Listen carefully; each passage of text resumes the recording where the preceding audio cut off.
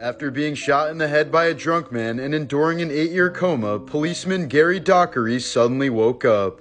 He started talking enthusiastically, recognizing old friends and remembering old events from the past. But by the next day, he could no longer speak and slipped back into the same coma, never to wake up again. During a photo shoot, a model in New York City was distracted by the first plane hitting the World Trade Center on September 11, 2001. Daniel Villegas was 16 years old when he was sentenced to life in prison for the murder of two teenagers in 1995. However, he later claimed that he had nothing to do with the killings and was coerced into confessing by detectives. Here's a video of him finally being found innocent after serving 20 years in prison.